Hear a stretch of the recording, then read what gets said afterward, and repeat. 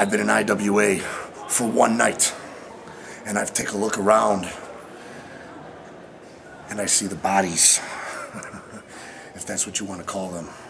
I see the scars and I see the men, actually more like the midgets. All of you cannot stop me. All of you are the size of this leg.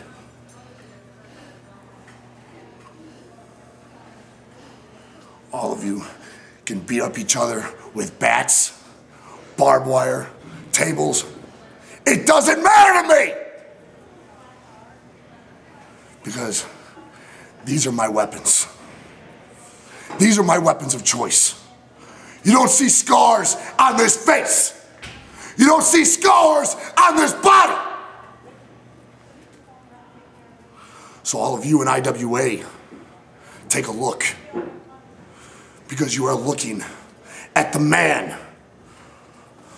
The man who's going to take over IWA.